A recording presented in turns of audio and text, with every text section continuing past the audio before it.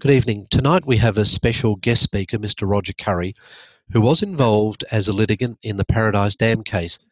Paradise Dam is approximately 80 kilometres southwest of Bundaberg. The Burnett River contained a population of a lungfish species which was listed as a vulnerable to extinction under the Environmental uh, Environment Protection and Biodiversity Conservation Act 1999.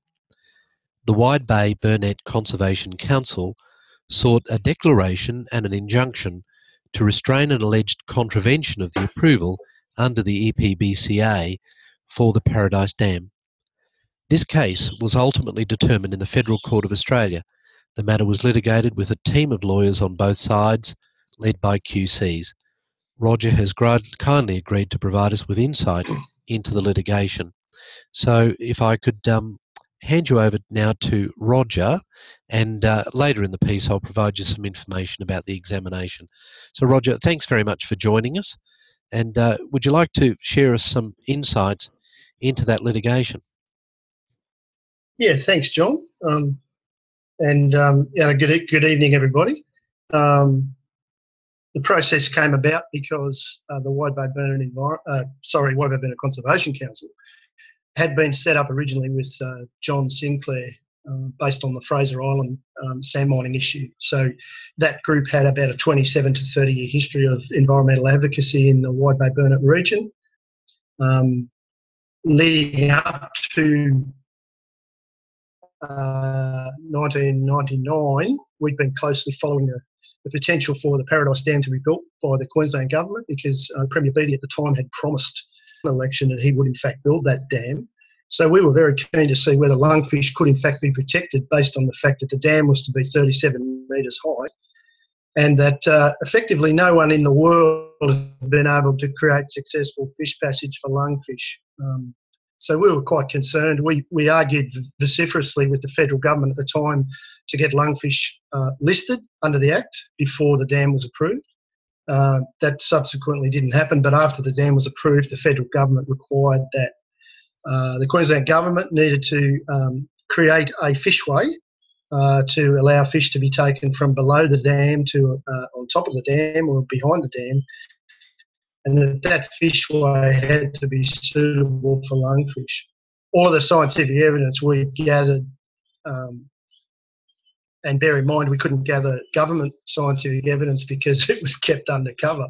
They didn't want us to actually have that evidence.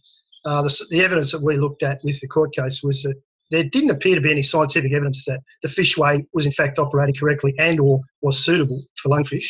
And that's given that the reports that were uncovered in, in disclosure were clearly indicated that only two juvenile lungfish had made it upstream in the fishway and uh, no uh, juvenile or adult lungfish had in fact made it downstream uh, while the fishway was operating. This was a $23 million fishway. It had never been, um, there was no model to build one. This was all new stuff. It was new technology that fish ecologists for the Queensland Government sat down and designed with experts. We weren't allowed to be involved in the design of that concept because at the point that point in time, the Queensland Government was not very keen to let conservation groups um, be involved in um, designing controversial projects. So as a result, um, we basically observed what was occurring with the dam. Um, the alarm bells went off when the Beattie government then decided that they would um, build Traveston Dam uh, on the on the Mary River because based on what we knew was happening with lungfish in the Burnett River, we automatically then tried to raise alarm bells about the possibility of a dam uh, on the Mary River, effectively significantly impacting lungfish in the Mary River as a result, um, we were capable of uh, getting a really good um, community and scientific based campaign against that dam to give uh, Minister Garrett enough evidence to effectively decide that the project should not go ahead. And that's a perfect example of the precautionary principle being applied uh, from the federal government, much to the chagrin of the Bligh government at the time because they, they were a little bit gobsmacked at one of their guys could effectively say no to a significant state project. Um, the case basically was we decided to argue that uh, the fishway was not in fact suitable for lungfish and was in fact not operating. And they were the conditions of approval. Condition approval number three was that the fishway must be constructed and must commence when the dam becomes operational and it must be suitable for lungfish. So we had the, um, the very complicated task of going to the federal court and arguing against the Queensland. The fishway did not appear to be suitable and uh, was not operating at the time correctly. And subsequent to Justice Logan's decision, where our application was dismissed, the, the 10 year reports that came out of the Queensland Government Monitoring Program clearly indicated that the fishway is not suitable. So, whilst we lost the case, we tend to think we won the battle. Um, not that, of course, Paradise Dam is working now because Paradise Dam was effectively all its operational capacity was destroyed in 2011 flood. Uh, was further further uh, basically wiped out in 2013. It's currently cost 35 million to try and fix it up to get it all repaired again. I've been given an information from the Queensland government that they'll have the fishways operating again by um, the end of June. So then we start again. Then we, we, we basically hopefully find evidence that lungfish um, might be able to use the new uh, fishways if the new fishways um, seem to be uh, operational by the end of June because the breeding season is after June. So we're hoping it'll be up and running by June so that at least if there's some lungies that want to get up the top or get down, um, they'll be able to do so. But I'll have to say at the moment, the downstream fishway is positioned at uh, elevation 62 metres and currently the storage level of Paradise Dam is at 59 metres. So effectively the downstream fishway entrance is two metres below water level. So lungfish would have to be flying fish to be able to effectively get to the downstream, the downstream um, entrance. Uh, and it wouldn't make any difference whether they could because effectively the fishway is not operating. On that, anything needs clarifying, feel free to ask. The court case was quite interesting. Um, we basically had to raise $300,000 to pay for our court costs. Most of our legal team worked almost pro bono. They took minimal fees. Um, as a result, we were able to engage um, an SC and two barristers. And we used the Environmental Offenders Office in Brisbane to launch the case and to manage the case. Um, but understanding how it works, you, you, would understand that we're up against the Queensland Government. The Queensland Government was prepared to spend a large amount of money to ensure that a, a tiny little conservation group could not actually dictate terms to the state government. So ultimately, we lost. Ultimately, we lost the case. The, the uh, application was dismissed. Uh, the Wide Bay Burnett Conservation Council was awarded damages or costs to the figure of just over $1 million. As a result, the group had to be deincorporated.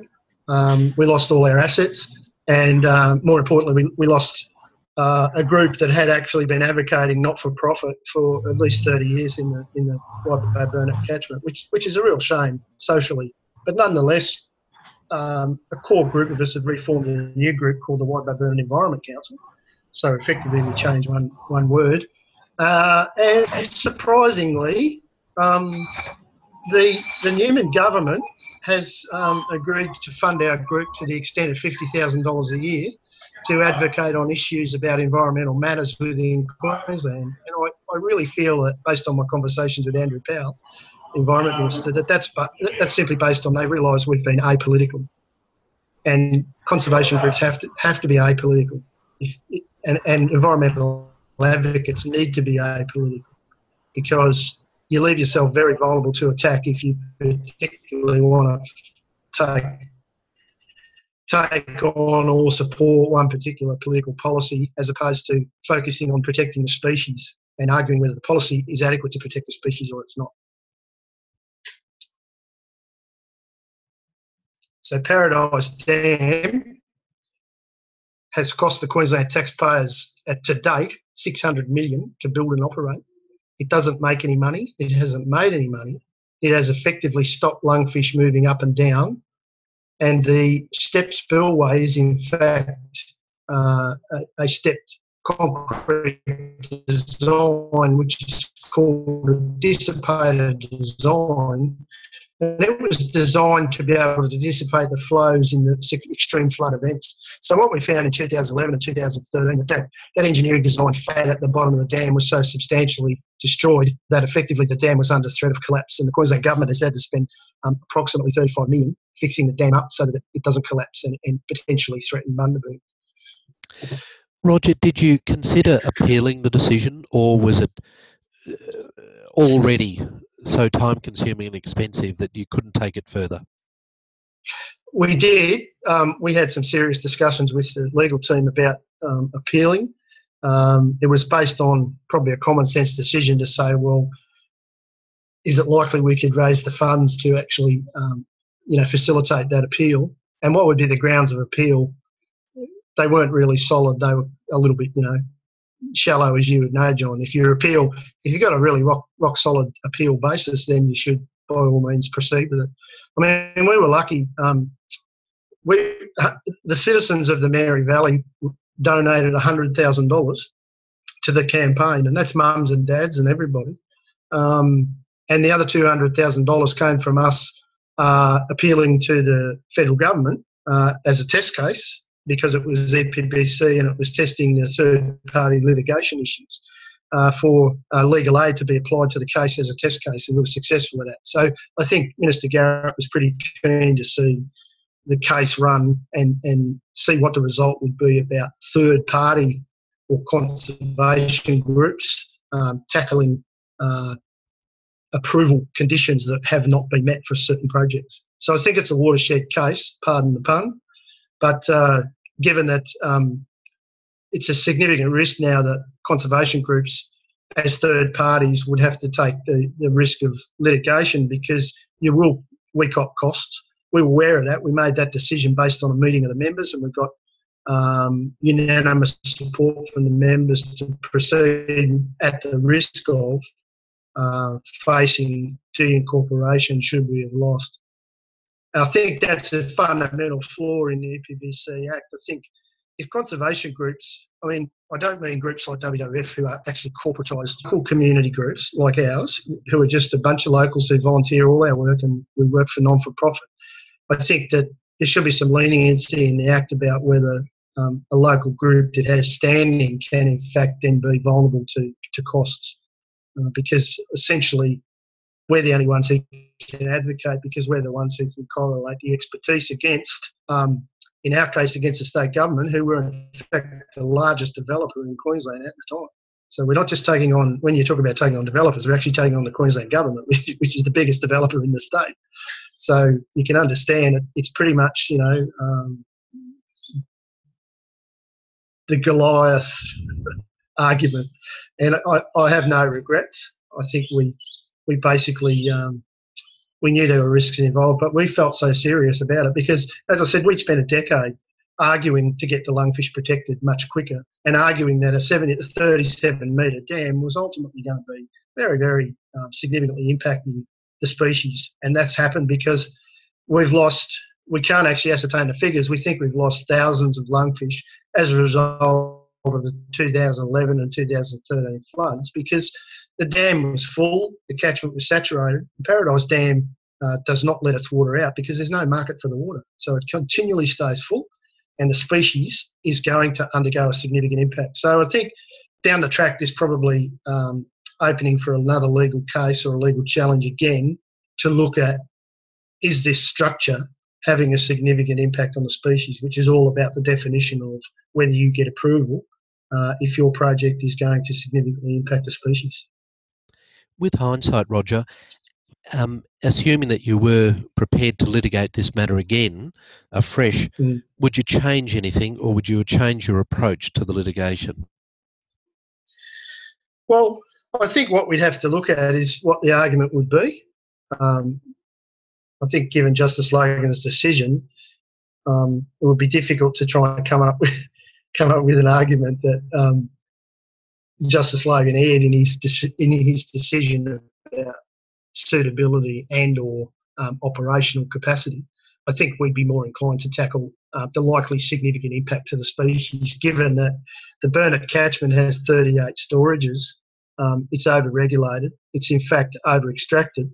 and that we have if we have a dam that sits where it sits and it's not being emptied, it's not being used, then the risk of significant impact to lungfish is probably quite likely. Um, and we would need to take that back to the court and argue that a significant impact is occurring, and therefore the Queensland government should be held accountable for that significant impact. Mind you, the issue is that lungfish aren't keeping Lung, lungfish are slimy, uh, which not many people. It's, it's a difference between fighting for koalas uh, because people, oh, they're beautiful. You know, we fell in love with lungfish, um, but the general community doesn't see that. They they're basically saying, "What what are you guys going on about? These are just these are just lungfish." Even though you know we know they're 200 million years old, they're actually a living dinosaur. They're much older than koalas, but it's public perception. So we work on that. We, tr- we try to make lungfish cute. We do the best we can. Thanks, Roger. H- how important was the expert evidence in the case?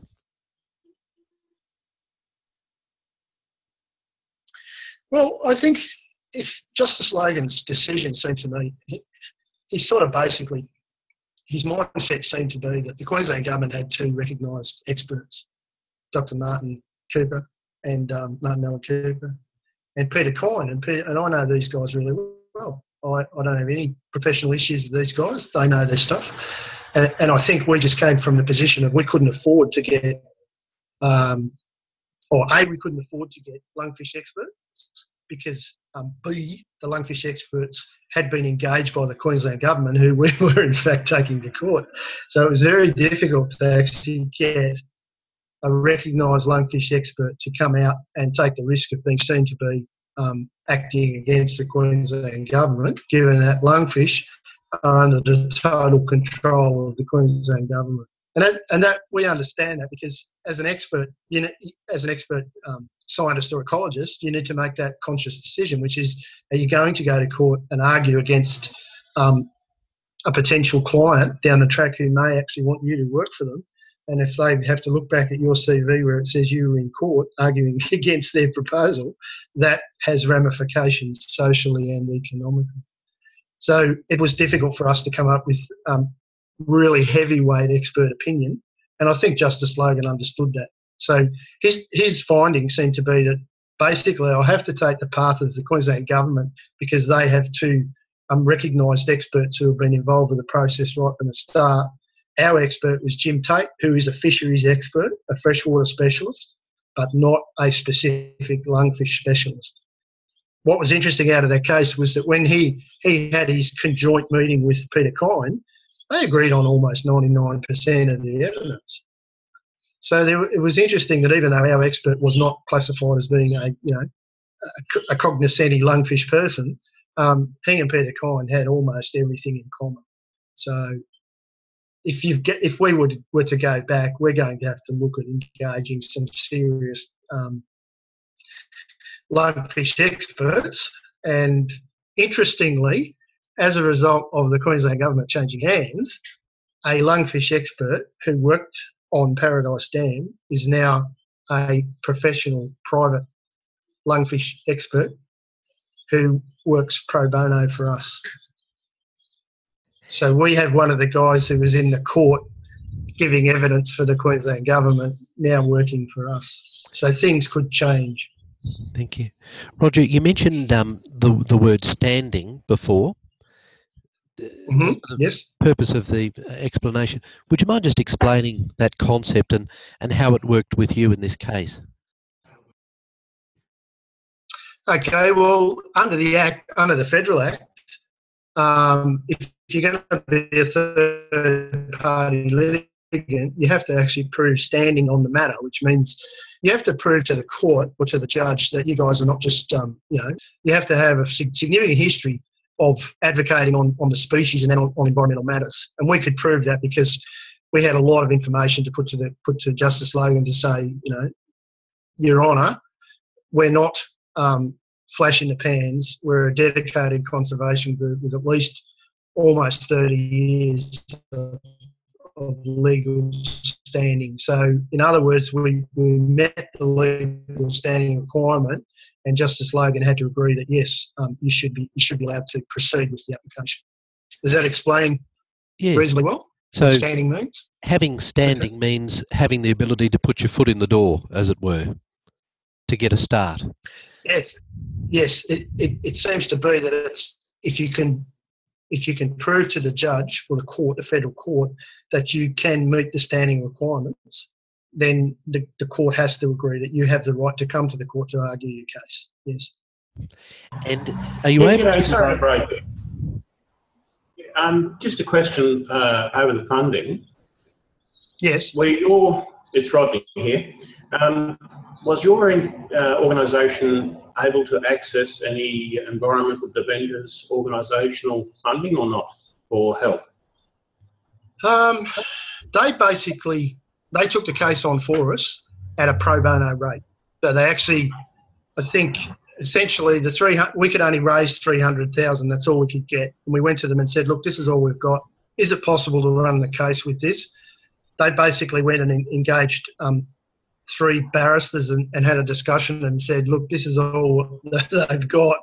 Are you guys prepared to do it? And they said, yes, we are. So uh, EDO at that time, EDO uh, was uh, accept was um, granted funding from the state and the federal government, but we we didn't access any of that funding. Our funding came from, as I said, mums and dads in the Mary who chucked in two bucks or whatever and bought chocolate turtles and chocolate lungfish, and and we got two hundred thousand dollars from uh, the federal government because I we had to argue the case with Peter Garrett. I went down on a couple of occasions and, and discussed it with him and said, look, I think this is a really serious issue, Peter. It was he was good because he, you know, with the background the guy had, he, he was, we cut to the chase and he went, look, I'm only going to be able to deal with this if um, you guys can give me an argument that this thing is not good enough and needs to be dealt with correctly and you believe that the, there are issues that the Queensland government needs to face. And that's what we did. We convinced him we needed to run this as a test case so he could have some clarity about,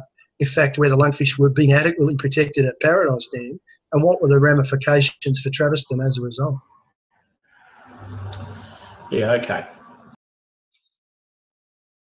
Yeah, John and Roger, can I just um, ask something? Yes? Just uh, when you speak about standing, um, and I'm not sure if this is correct, but was there a um, bill produced uh, in the Queensland government? I'm not sure if it's been introduced into the Act, but with the Queensland Environmental Protection Act to all but eliminate um, people other than those directly affected. Uh, I think this is in relation to mining approvals, um, as to whether they can show an interest in that, whether they have a, a right to have an interest in that case. Is that similar um, to what you're talking about with standing?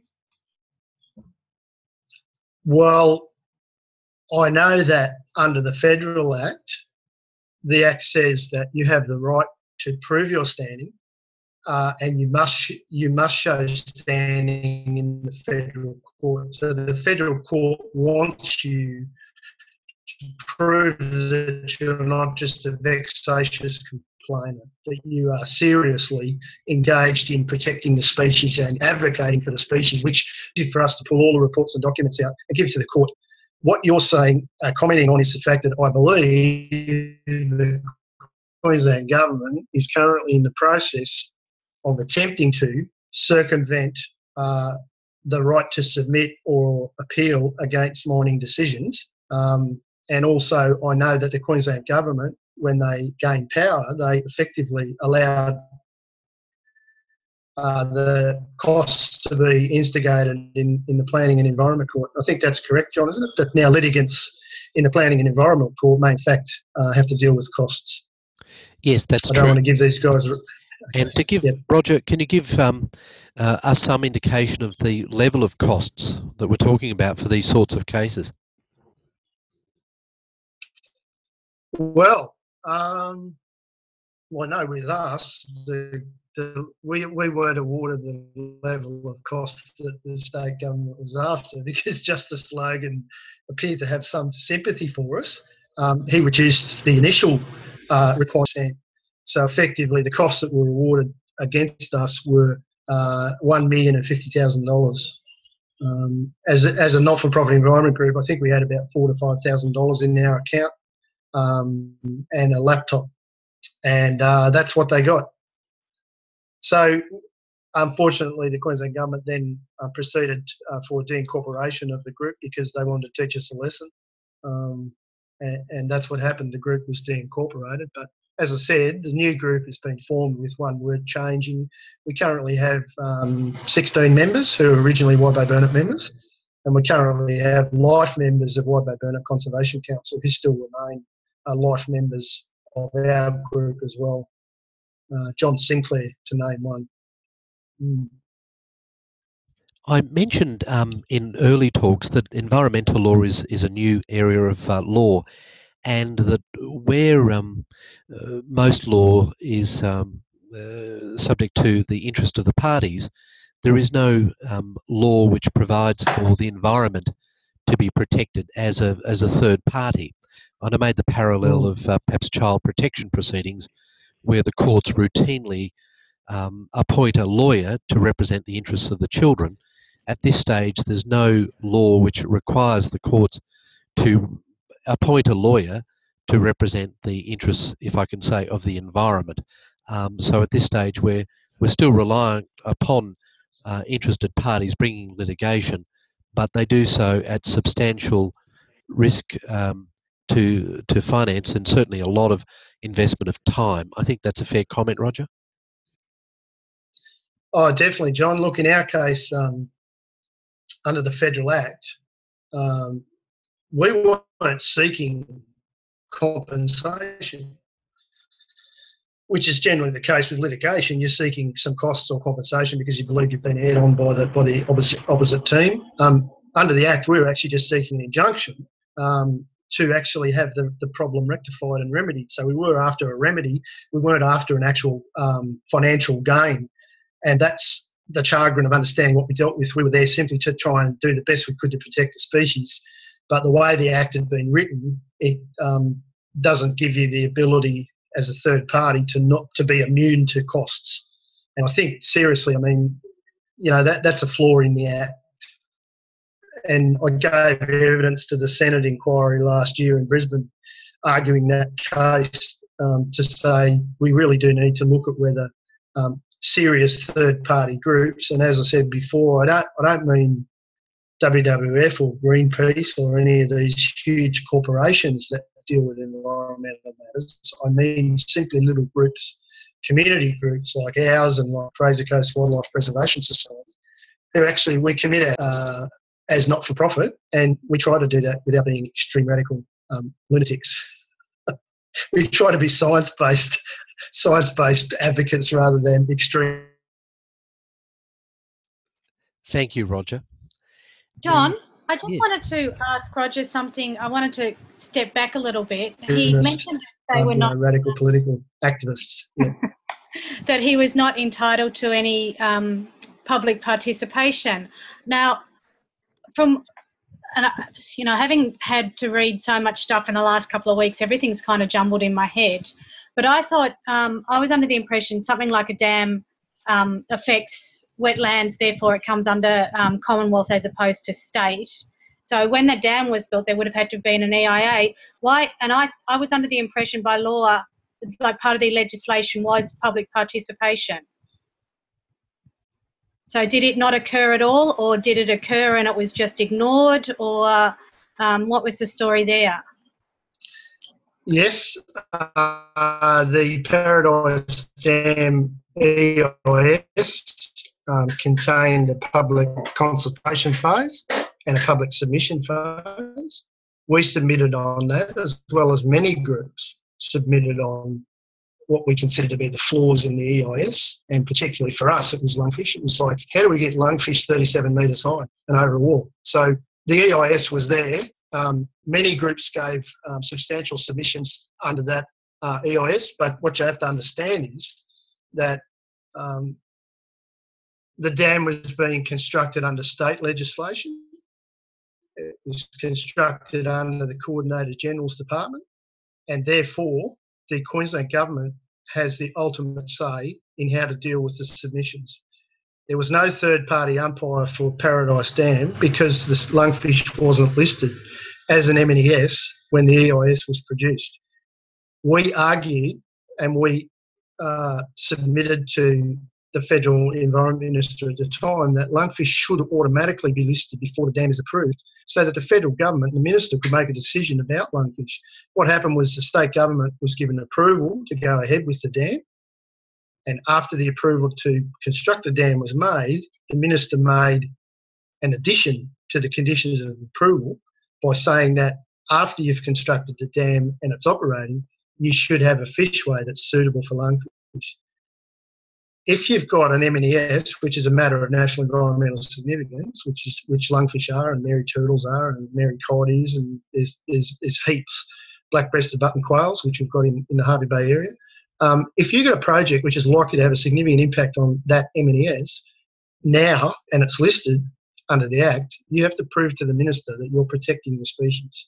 We couldn't do that because the lungfish wasn't listed at the time.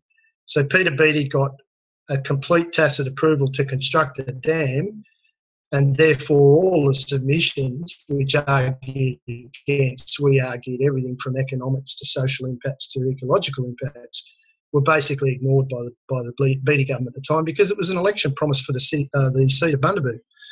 So it's great if you can get the opportunity to argue.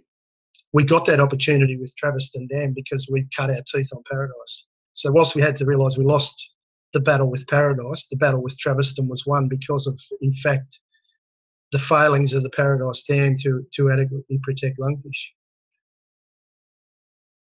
Does that make sense? Yeah, yeah, it does. Because okay. the, other, the other thing that I was reading in your notes was, or in the notes was, um, that it was protected in Queensland. Is that correct? Under the fishing under a fishing act, but it wasn't actually classified. Is yeah, that correct? It, Correct. It's always been protected under the Nature Conservation Act. You can't keep lungfish. You can catch them accidentally, but you cannot eat them. Um, so the theory is it's protected. You cannot take lungfish. And under the under the Queensland Act, it should actually it's not listed as threatened. It's listed as threatened, meaning it's vulnerable under the Federal Act. So only the Federal Act recognises the vulnerability of lungfish. The State Act and the state legislation ignores the vulnerability of lungfish. It simply is not prepared. No government, even the Bligh government and this government, is not prepared to change that legislation because if they do, it means effectively that you could never build a dam on the Mary River into eternity because the population in the Mary River is our most significant population in the Southern Hemisphere. So, so you're protected by um, by Commonwealth legislation, is that right? Lungfish are protected by the Federal Act. Uh, the Federal Act has a list of what we call MNESs, which is matters of national environmental significance, and, and that's also um, the Great Barrier Reef. Um, many species, what we do as conservationists, we try to give the federal government the science to argue that this species is under threat. It's moving up the chain to extinction, and we like to have it listed as a, as a, under the Federal Act to protect the Act.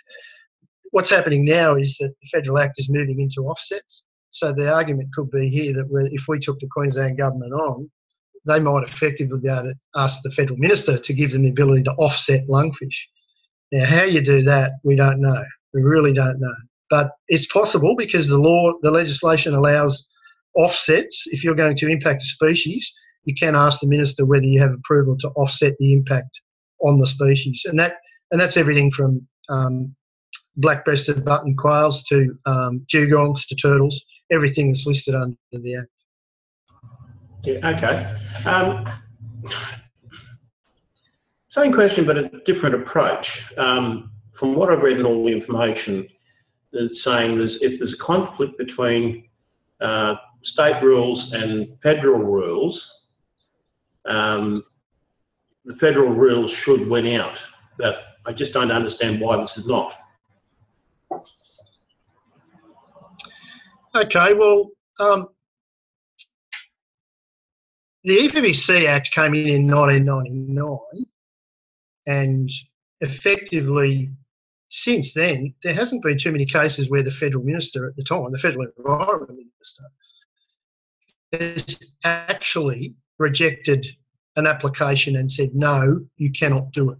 The cases where basically um, someone, a proponent has wanted to create a development and there's been matters of national environmental significance and they haven't been able to effectively protect those matters, no minister has actually, apart from Peter Garrett, and when I say no minister, I mean the ministers after Peter Garrett, has effectively decided to reject the CSG proposals and uh, the port proposals, the barrier reef proposals, because ultimately the federal minister has to cop the political backlash of um, making a decision against a state government or against a state government who has um, a significant interest in these types of huge proposals. When you look at the CSG and the, and the coal proposals in Queensland, they're huge proposals economically. So for for an for an environment minister, a federal environment minister to take that risk, to use his power to actually reject a proposal, that's a huge political um, risk. And the minister can't do it. It just means that very few ministers have done that. And Peter Garrett's the exceptional example. And I, I would posit that potentially because Peter Garrett has had a history of environmental advocacy plus rock and roll, that he was prepared to take that risk. He knew the political ramifications of what he was doing, and subsequently, that's that's the way it's panned out. But the federal act, and now what we're seeing is what we're seeing, particularly because of the say the, the Paradise case and the Traveston case, is that state government, the, the Newman government, has been really, really working hard and, and advocating uh, to Greg Hunt that the power for the federal minister, for Greg Hunt in this case, to make decisions against the Queensland government should be removed. That's where we get into the bargaining tactic of um,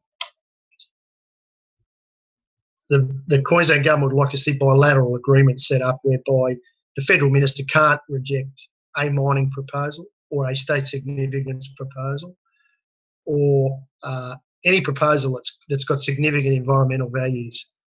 They don't want the federal minister to have that power. And once again, when we're, we're in the position of allowing um, proponents to offset, we can then say, well, basically any protected species could be offset. Whether it's effective or not will only remain to be seen. Because effectively, if you offset, you've got to be able to ensure that you're protecting the species um, viability, its survival. And lungfish, you can't offset one lungfish. You'd have to offset the Burnett River because the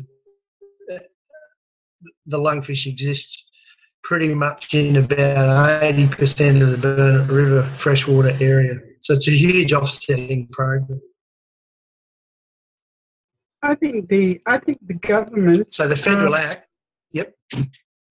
I think the governments are favouring the mining, though, aren't they? You know, they they're favouring the mining over the conservation, and they're just letting them walk over everybody, walk over the farmers and the conservationists. That's my concern. Well, it all comes down to the law, Lawrence, and that's the issue of um, if you if you're serious about it, then there's nothing better than environmental law to understand how it works. And environmental law is, as John said, is very new. It's only only taken its relevance in the last couple of decades. So so we're sort of like we're pioneering it. We're not really sure if it's going to effectively work, and the, it's really it's really quite politically interesting when you look at the EPBC. The EPBC Act was actually instituted by the Howard government. I think at the time they may not have realised how the power of the Act, what the power of the Act could be.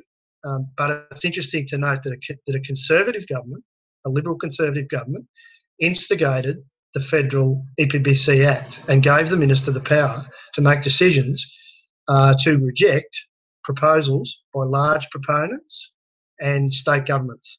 Now, I think they've come to regret that, and now that's why the the new uh, the uh, Newman or particularly the Conservative governments now are, are looking to really re rehash that act and see whether that act could be um, some of those powers of the minister uh, could be considered to be um, against the community. Because if the minister has the power to reject these huge economic projects, um, they can, they could put an argument that this act is actually not working in, in the benefits of the community. It certainly work, may work in the benefits of the species, but it may in fact be working in a negative social way. Roger, thank you very much. I wonder if this might be an opportune time to um, invite you to make comment in some different areas. Um, yep. I'd sent through the assessment pieces, and um, mm-hmm. I I don't know whether you want to speak to any of those assessment pieces or not, but the students might be interested for your th- your thoughts and comments. Is that too broad a request of you? No, no, that's that's fine, mate. Um, based on um, I've read the um, the Cairns case, which is interesting because the justice there seems to heavily weigh on the planning matters, which is the conflict between uh, the previous planning matters and the fact that uh, the Far North Queensland a statutory regional plan and the uh, the Cairns plan at the time, I think the 96 plan seemed to quite categorically show that there were questions over whether um, that development should be allowed on that headland the justice didn't seem to take a large weighting on the on the environmental matters. Um, his discussion seemed to be that, given that, that Chenoweth and the other guy were, were quite agreeable about, there wouldn't be significant environmental impacts to the species listed and the ecosystems. It seemed to me that that uh, the justice was basically trying to deal with the facts of amenity and or whether significant engineering works would be required, and that that was clearly in conflict with um, those planning documents. So, as far as the environmental issues went with what would be the impact on the regional ecosystems and/or species, the justice to say, well, it doesn't appear to be major impacts. So the justice didn't seem to put a lot of weight behind the environmental impacts. He seemed to be more that, the, in fact, the conflict with those other plans uh, could be substantiated that's only my reading of it, John. I'm not a lawyer. No, thank you. And just to confirm, this is the Pretty John against Cairns Regional Council case from 2012. Yep. Does anyone have Can any questions? A, oh, John, I'd just like to make a, a side note to that uh, about that case. I was googling it the other day, and um, I found a news article from last year, I think, to say that that approval has actually been subsequently approved on a, um, I think it's a far smaller scale. I think it was about 18 properties or lots, I should say, compared to the original 35 or 39 or whatever it was. But yeah, I thought that was uh, yeah, sort of progressed still, and only till just last year. Yeah. Thank you, Paul, and thank you, Roger. Uh, if there's no other questions on that, did, did John, I do have I do have a question, but it's not about the dam and it's not about the Cairns thing, but it is about um, the um, EPBC Act. And uh, so my question is in regards to Abbott Point. Um, how is it that, uh, like it quite clearly states that the reef is protected in the um, in the Constitution? So how is it that that dredging is able to go out to the reef? That dredge material is able to go out to the reef.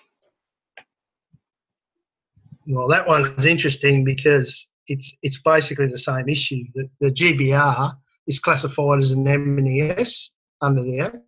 Yeah, that's that's so, what I think. That's, that's really clearly written yeah, in the Act. That's right.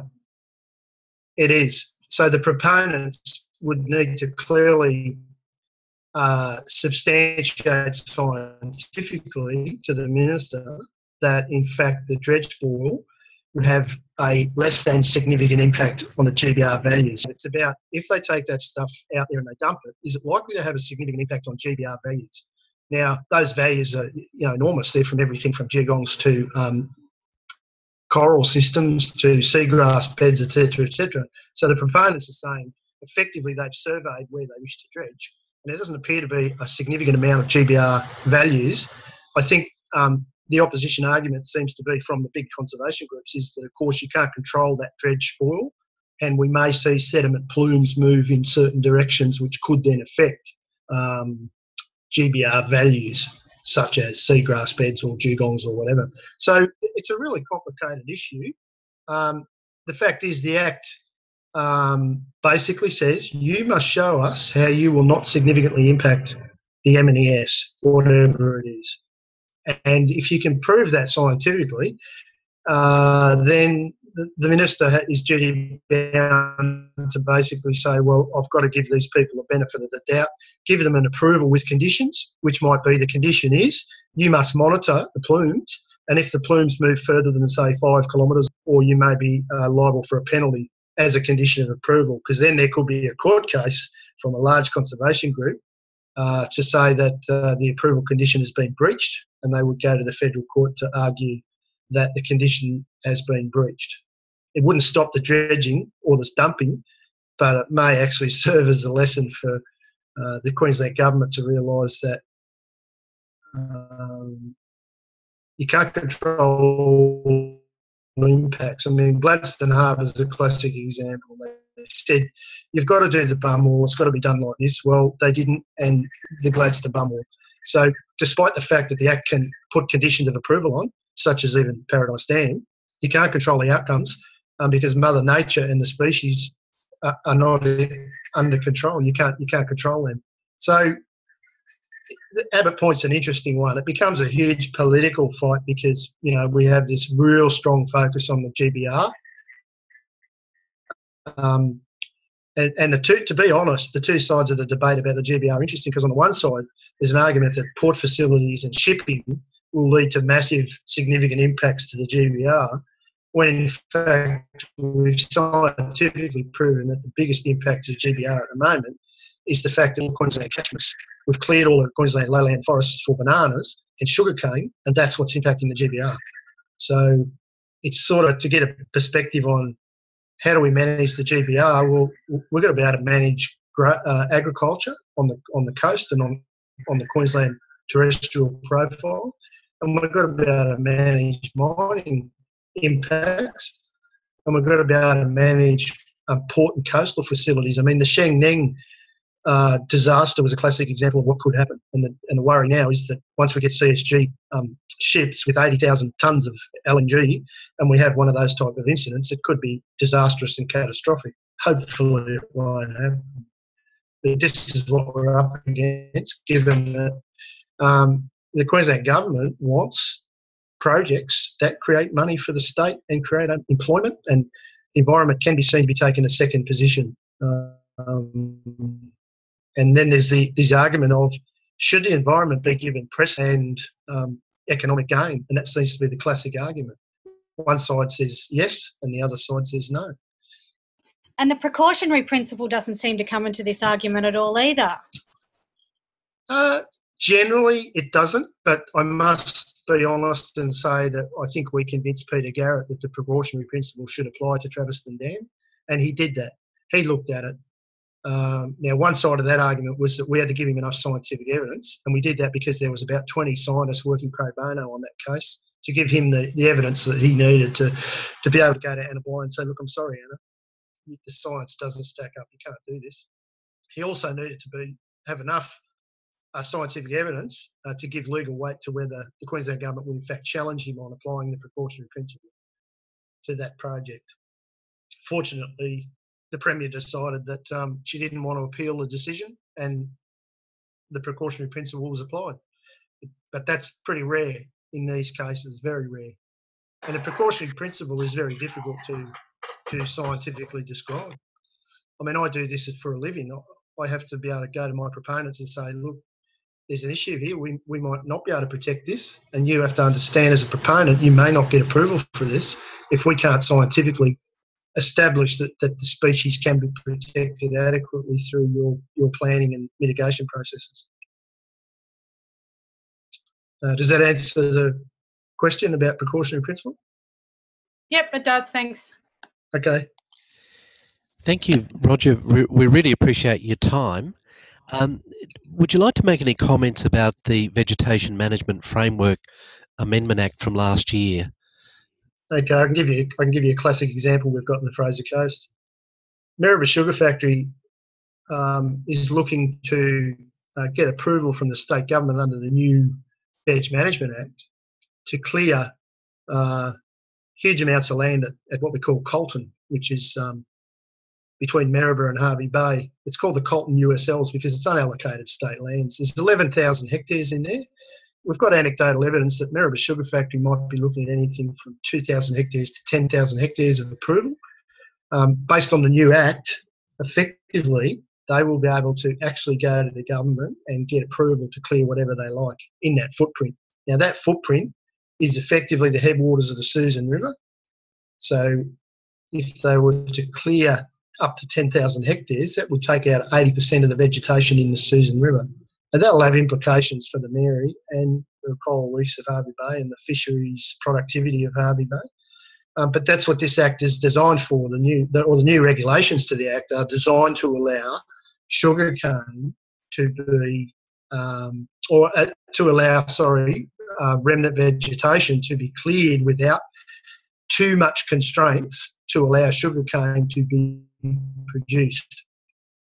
And that and that's a policy of the Newman government. They're really keen to see that happen, and they, they've held since the Beattie government instigated the Veg Management Act originally. Uh, the Conservative government has, has spent two decades waiting for their opportunity to to change it to what they want, and that's understandable. So now that's what we're facing, and one of the issues is that um, Maryborough Sugar Factory will need to prove that the soils that they wish to farm for sugar are capable of sustainably producing sugar.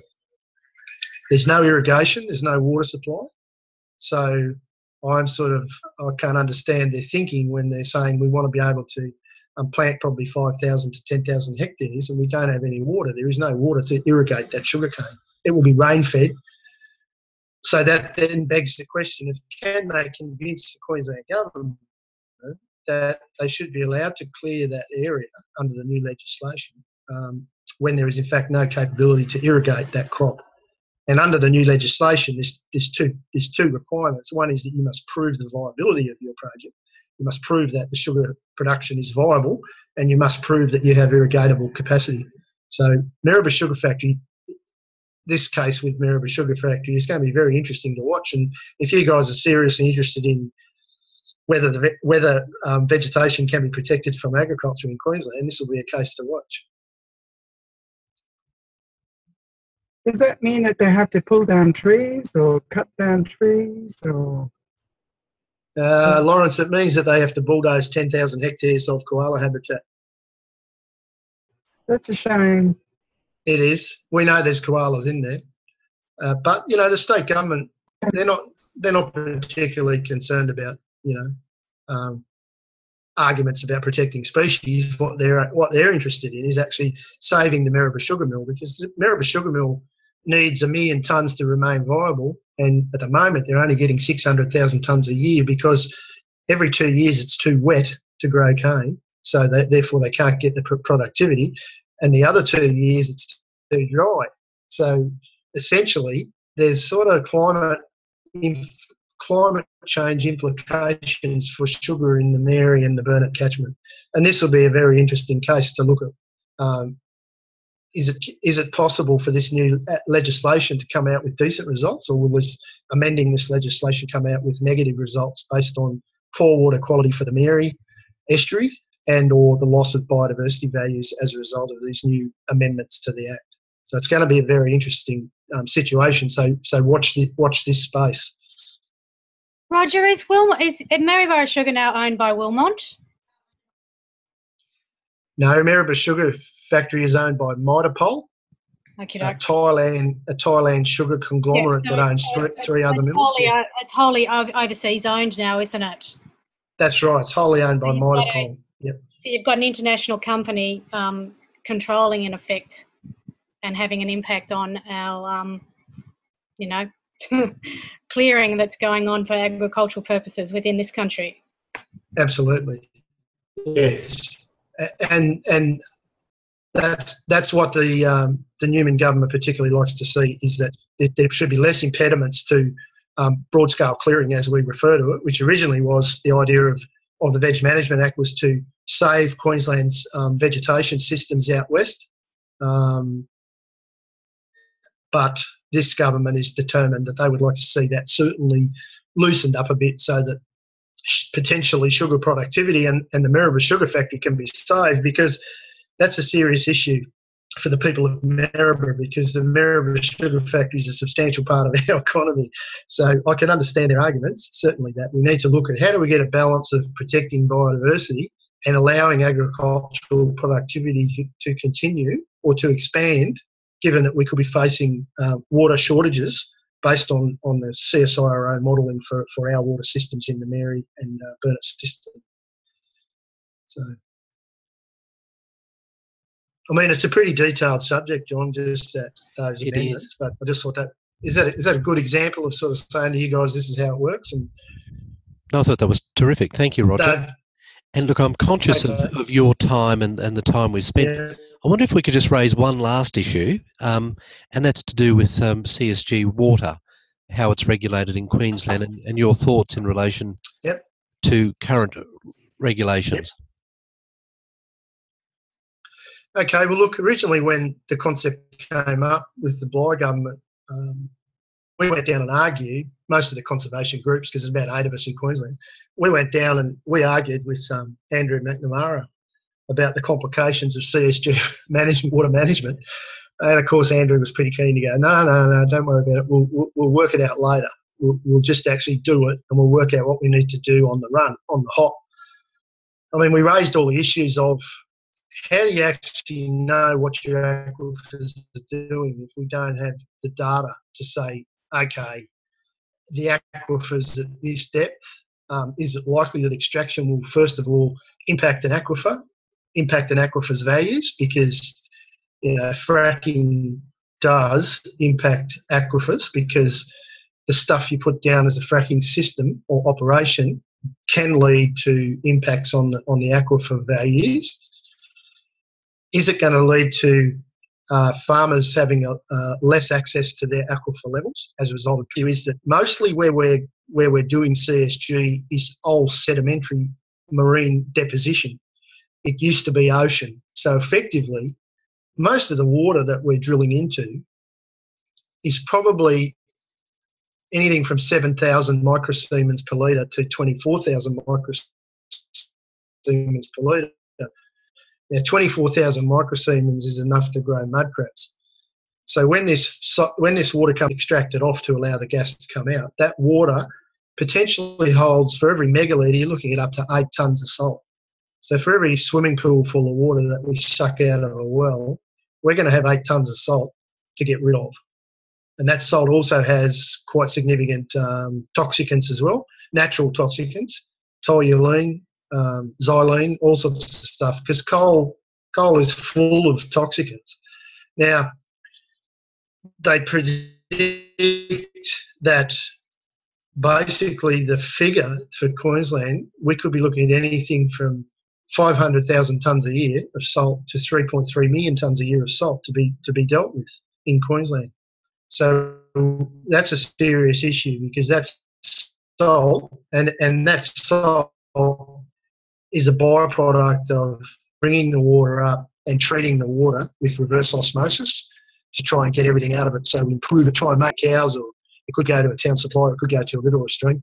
So as a result, we get this huge amount of salt, and that salt's got to go somewhere. So one of the problems with CSG management is, is still the industry is still not showing how they are planning to manage that salt.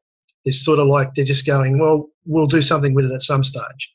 But at the moment, just give us permission to suck all this water out because once we treat the water, we can probably sell it to um, farmers. Uh, some farmer crops can use salty water. It'll still be slightly salty, but not, not terribly bad. So, whilst we can say that CSG water that's treated is beneficial use, we could get positives out of it. We've got to look at what would be the cumulative impact of releasing that water into the environment because essentially, even if it's onto a farm, some crops don't use all the water, so you get you'll get that water being flushed off into our um, wetland systems, our stream systems, and the science around that because it's a it's actually the companies doing the science. It's not independent. Is very dubious, and that's what we've always argued: is we need an independent assessment of of the CSG impacts. And currently in Queensland, we don't get that. We get the CSG Gas Commission, which effectively is a puppy dog of the of the Newman government, um, attempting to try and deal with all these issues because they've realised that uh, the farming community, not all the farming community is happy about CSG. I think they've realised that they've got a problem on their hands. I've heard just recently that um, they have got evidence to suggest that um, CSG gas is um, polluting the aquifers and it is um, with the chemicals. There might be some sort of chemicals that is polluting the aquifers. They've got proof. I've Oh, heard look, on Alan Jones. well, Lawrence, I can tell you that um, not all CSG is, is fracked. Um, some CSG is fracked. It depends on the quality of the aquifer and the pressure, the head pressure of the aquifer. But when they do frack, um, they have to send out a, a chemical concoction which they refuse to um, allow the community to understand and see. They treat it as commercial and confidence. So they have they have a huge uh, like chemical cocktail that they put down these these fracking wells and they blast it down under enormous pressure to fracture the gas to get the well to get the the water to come up and they can drain the water so they get the gas. But the companies don't by law have to actually um, show us what that chemical con- concoction is because it's classified as commercial in confidence because if British Gas tells us what they got, then um, the other guys are going to go, oh, that's good. We know what British has got now, so we'll use something else, or we'll, we'll use what they've got. So that's a complicated issue because you can understand the companies want to protect their proprietary rights, but in fact, the community needs to have the truth, and we need to be able to be, you know, given the evidence to say what's the likelihood of these chemicals impacting our aquifers. Now, the big question that comes out is that um, if if we go ahead and do do all this CSG work and we discover that our aquifers are actually beyond redemption, we've actually done something that we can't repair. And given that some of these aquifers could have water that's up to 50,000 years old in them, we may have a resource there that we've effectively um, damaged so badly we can't use it into the future. And, and that's the key question. Can we protect our aquifers by CSG uh, extraction? Is it likely that our aquifers may be impacted? Well, I think the evidence in America is pretty clear. Yes, it will. And it's all dependent upon how much water comes out, um, whether they can sell that water to the farmers. I attended at the first CSG forum in Brisbane back in 2010. And one of the guys got up there and he, he was from British Gas and he talked about how much money they were going to create for the Queensland economy. And I, I asked him how much water did he think they'd produce, and he said, "Oh, we think we'll probably produce about 150 to 180,000 megalitres a year." And I said, "Well, why don't you pipeline that to Brisbane? This is from the Surat Basin out around Roma." I said, "Why don't you put a pipeline into Brisbane? You could fill Wivenhoe up every year." He said, "Well, we wouldn't make any money because it costs us too much to build the pipeline." So their, their opinion was, we know we can do that, and we know that we could actually give Brisbane water. We could keep Brisbane in water for, for probably 30, 40, 50 years. But they said, look, it's not. Why should we have to pay for that? We're just here to get the gas. We're not interested in you know supplying water to Brisbane. And, and that was unfortunate because we couldn't convince the Bligh government to take that on and say, well, what about a partnership between you guys and them for a pipeline to Brisbane? Because that way you'll have water to supply Brisbane indefinitely, and, and, and that could be a positive. But no, the government's they they're a bit reticent about actually going into partnerships. Yeah. Roger, one thing that I think is a little bit interesting about the whole coal seam gas is there's lots of emphasis on the water and the aquifers. Um, it would seem Yeah. to me, especially in areas like um, so Miles and Roma, which are traditionally high wheat growing areas, um, what the food security issues that we have, because once Yeah. that land gets used for gas, it's no longer viable. A lot of it is no longer viable for food production. Yeah, absolutely. And that This doesn't seem to coming into the argument at all, which I find really interesting. Well, this is where the, the Strategic Cropping uh, Lands Act comes in because the Strategic Cropping Lands Act was created by the Bligh government to effectively restrict open cut mining on strategic cropping lands, which is the food argument. We need to protect cropping lands from open cut mining because that will just decimate um, our high productivity lands. But unfortunately, the Act does not restrict CSG activities from cropping lands. The argument is that strategic uh, that um, CSG activity is a, is a minimal impact to cropping lands compared to um, open cut mining, which is devastating on a huge scale. But you know that's that's not necessarily true because if the aquifers are damaged, a lot of farmers rely on um, aquifer supply. Uh, the Condamine aquifer is the classic example. There's ev- there's ample evidence that the huge CSG production capability in in um, the uh, uh, Surat Basin is is likely to impact the Condamine alluvial system. Now, the Condamine alluvial system is something like 50,000 farms rely on the Condamine alluvial system to actually grow their food in the Condamine uh, catchment area.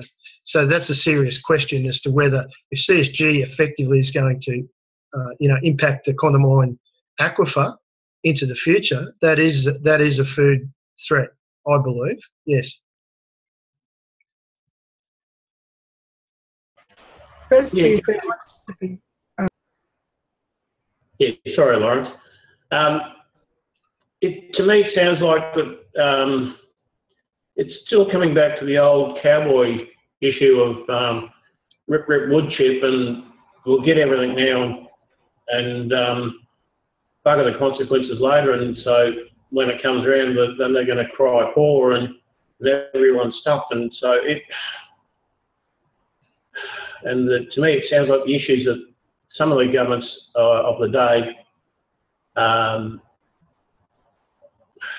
have have more sense to say we'll look at the future, but some some brands of uh, politics are, are just not uh, just for the here and now. Yeah, look, CSG came in really quick. I mean, the Bligh government led the chase. They saw it as being, you know, a viable alternative. I think that's because they realised that coal mining in Queensland is on a downhill slope, and they wanted to see another energy uh, source or a revenue source that was capable of sustaining Queensland into the future.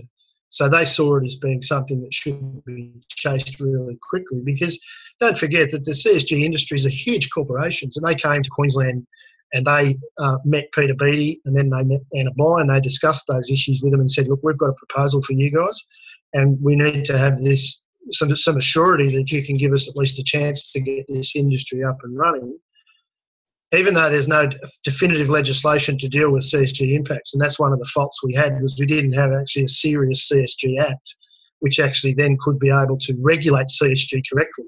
It appears that what's happened is, and this is based on even if you, you watch the 730, uh, the Four Corners report about uh, Simone Marsh, who was an assessment officer for the Coordinator General's Department, who was given a document by her boss on the Friday afternoon and said, This is for British Gas CSG project, and I want you to come back to me on Monday and tick it off and approve it.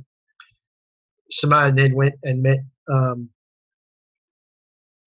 uh, uh, Drew, what's his name? Drew Hutton, um, showed him the document, and that's when it went to the uh, Four Corners report to, to show that effectively what happens is that these companies come into a state, they meet the Premier, and they sit there and they tell the Premier what they want, and that's exactly what happens. So these projects were approved without being assessed correctly, and that's because we didn't have any decent assessment process and we didn't have any decent legislation to try and uh, manage and mitigate the, the impacts correctly. So we've sort of, what we've done is we've said to these companies, yeah, that's right, go for your life, guys, you can do this, and then look along the way, if it backfires and everything goes kaput, can you promise you'll try and fix it up?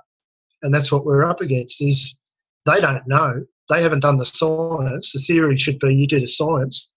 Um, you do the science on lungfish to see whether a dam would in, in fact affect lungfish. And then you go to the to minister and ask the minister to approve it because you think you've shown that you could effectively protect the aquifers of the Queensland uh, sedimentary basins. And that hasn't happened, and that's really sad. And that's what we're up against is these companies were given permission to regulatory framework and we saw the, the Labor government attempting to um, catch up afterwards and try to do the best they could and then of course they've handed it across to the new government and they're having even more problems with it. But this is what we do as a society uh, when we want to get into our resources and the environment stands in the way. Thank you. I wish I could give you some. I wish I could give you some good news. Roger, um, it, it might be an opportune time for me to to now jump in and thank you very much. Um, reading, you probably haven't seen the chat um, discussions at the bottom of the screen, but it's fair to say that you've got some newfound fans, and um, we're all very appreciative of the information you've provided us tonight. It's been tremendous, and I hope that at some stage you might accept an opportunity or an invitation to come back and join us again. Uh, it really has been terrific. So, from all of us, thank you very much. Most, most appreciated. Uh, if you wouldn't mind just staying on, Roger, for a no moment. worries, John. Thank Yeah. you. I just would like to announce something in relation to the examination. It's always of great interest to the students. To clarify, the exam is open book. Now, that means that in the exam, you can take with you your textbook, you can take law dictionaries, you can take, take the study modules, you can take your own notes, etc. In fact, you can pretty much take in anything except a standard dictionary, a calculator, and some um, device which would give you access to the internet. So I hope that clarifies the situation and um, puts uh, people at ease a bit more. All right. Well, look, unless there's any further final comments or questions, once again, I'd just like to thank um, Roger for his great input, and um, I'll stop recording at this stage. So thank you very much, Roger. What's his last name? What's his last name? Sorry. What, what was What's that, his sorry, Ryan? last name? Roger Currie. What was his last name? Currie. No. Currie. Roger. Good. Perhaps just before we finish, your your business, if you if you'd like to give us a rundown of that. Mm-hmm. Okay. Um, I went back to Queensland Uni in 2000 and I studied uh, contemporary protected area management. I got a Bachelor of Science, Applied Science degree. Um, since then, I've created my own environmental consultancy business, which I see. I work with, uh, I work on both sides of the fence. I work with conservation groups and I work with proponents as well. I work with Maryborough Council. I work with Bundaberg Council. I work with all the councils. I've even done state and federal projects. Um, I think I'm lucky because I've been a, a landowner uh, who was. We purchased a, a 40 acre block out near Bauple, um, south of Maryborough, and, and it turned out to be a koala property. And that's when I was inspired because when I woke up one morning and there's a koala up the tree, I just thought this is there's something in this. I need to find out why this guy's up the tree in front of my veranda. And as a result, that's what I've done. So basically, um, if you look up REMC or you look me up on WordPress, I've got uh, in the Bay Burnett Environment Council, we've got plenty of websites, plenty of information. And um, John, I don't mind if you, if some of the students particularly want to discuss anything full on that, you can give them my contact details. I'm quite prepared to talk to Thank you. anybody who's interested to listen about the environment. All right. Thank you very much, Okay, Roger. thanks, guys. We'll do that. So thank you very much. I'll end the. I'll stop recording now.